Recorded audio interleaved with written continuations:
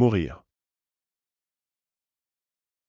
Le verbe mourir signifie cesser d'avoir la vie, c'est-à-dire que le corps n'est plus animé par l'âme ou l'esprit. Voici quelques exemples d'utilisation du verbe mourir dans des phrases.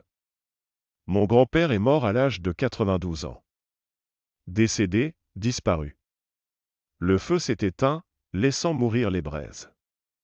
S'éteindre progressivement. Le petit village est en train de mourir à petit feu faute de nouvelles familles. Disparaître progressivement. J'ai failli mourir de peur quand j'ai vu l'énorme araignée dans ma chambre. Avoir très peur. Marie a repris sa relation avec Tom, mais leur amour est en train de mourir. Perdre de son intensité.